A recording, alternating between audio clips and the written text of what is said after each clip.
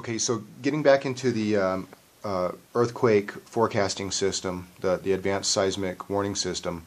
Um, so basically, you know, in, in block diagram format, you, so you'd have a, a an antenna array. You have then- a, a split antenna array uh, consisting of a pair of antennas. One's called the beverage antenna, which receives the electromagnetic and electrostatic impulses from the space outside of the physical mass of the Earth. Okay. And then you have an Alexanderson antenna, which does not respond to electrical signals or fields external to the Earth, but only the ones on the interior. That way, then you can separate what's being generated by the aurora or what's being generated by lightning from what's being generated from the interior of the Earth. And this goes through a very sophisticated amplifier system, which took many years to develop, where the entire composite of the low band spectrum all the way up into the AM band all flows through the amplifiers simultaneously without any intermodulation or distortion to get the proper uh, waveforms without any ringing or shifting. Uh, you, your equipment has to be clean so that it doesn't modify the waveform so that these transient impulses come through pure and undistorted. Extremely difficult. And then there is a heterodyning, uh, wideband heterodyning system.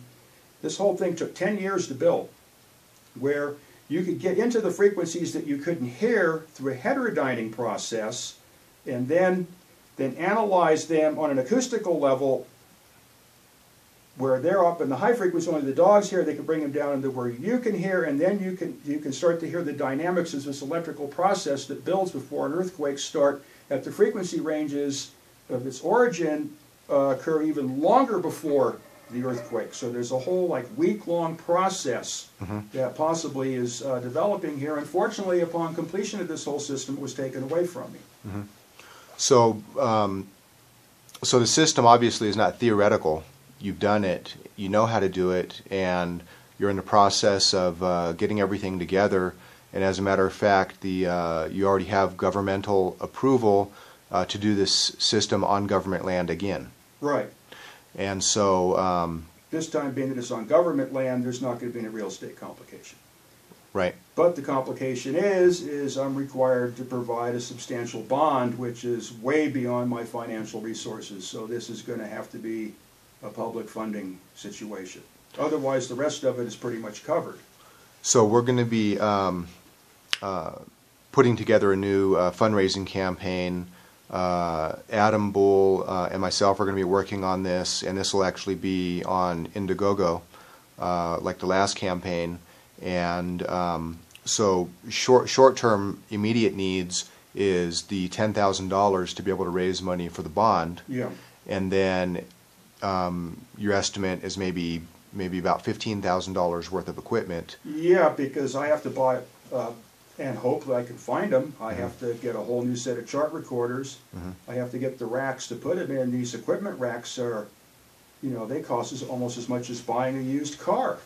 right? The prices of this stuff is just, uh, and the oscilloscopes I'll have to make from scratch. So that will be about fifteen thousand dollars right there in materials and effort. As far as the uh, the wires and the cross arms and what have you, is we've been provided with enough abandoned telephone facilities which exist on government property uh, that they need taken down or cleaned up. So, so we're in the process of harvesting miles and miles of wire, uh, uh, truckloads of cross arms and insulators in which to build this thing, and the only basic cost of that is the gasoline and the food and you know and what have you to go out there and do this.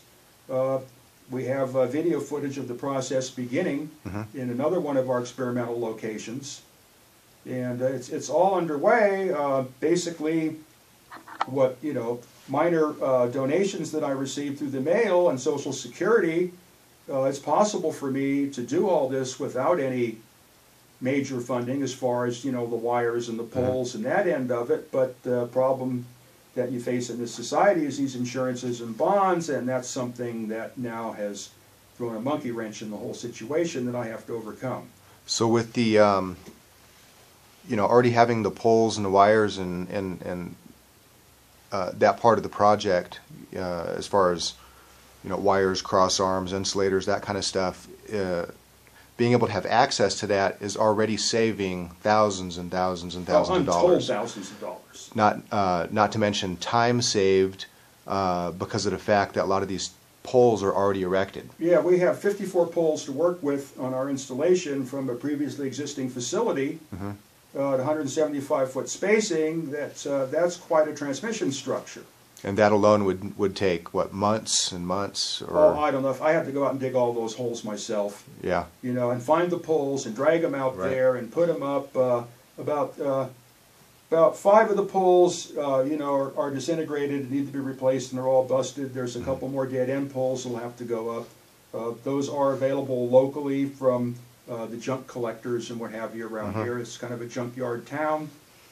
So we can get kind of in between stuff. The, uh, the the municipality itself is supporting our project along with the federal government, which is basically unheard of situation. Mhm. I mean, the, uh, it's fantastic the way that all this is coming together. It's, it's just Right. leaving everybody flabbergasted how, you know, something that would normally be so much red tape and complications and hassles and denials is just, is all just flowing like water. This is, is a very rare and valuable circumstance.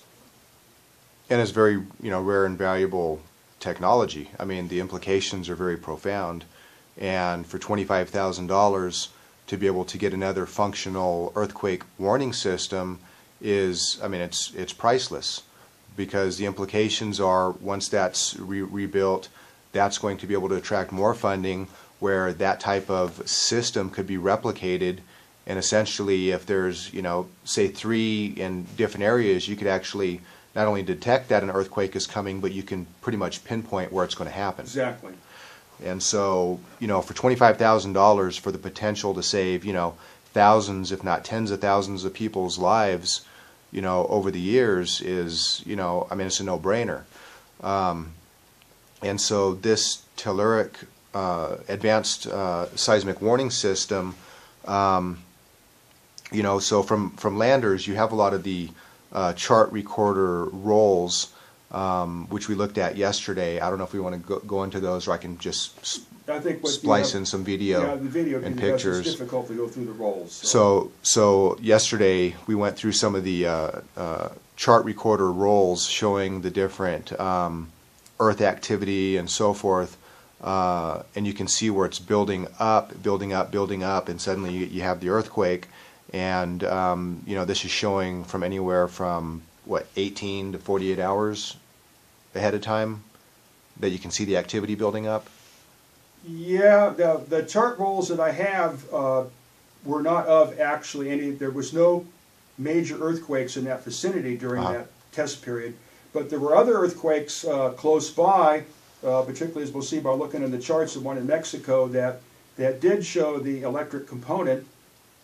Uh, the, the telluric signals that are associated with the earthquake will not propagate more than about 150 miles Okay. which is good because that way then you're not confused by you know Mhm. something happening off in the distance. Mhm. So you can build a network of stations in a 150 mile sided triangle then and determine the situation. But the beverage antenna, not the underground antenna, but the overground antenna will pick up the reflections of the the earth becomes so intensely active electrically that the waves refract through the surface of the earth refract through the ionosphere and will come back down to distant locations. And this is what's happened with the Japan earthquake. Unfortunately, uh, we lost the station immediately afterwards, and all the records were lost. The story of Eric Dollard's life, but uh, but I can recount what had happened, and the uh, the county board of supervisors uh, was there to see it also. So there must be some record of it somewhere in San Bernardino. They took pictures of, of the deal as the the overground electrical activity chart went off the scale uh, one hour before the precursor earthquake happened in Japan. Mhm. It maintained a off the scale level. I had the had attenuation in the system to keep it on on the chart so that I could see the variations up into the big event, and then it dissipated.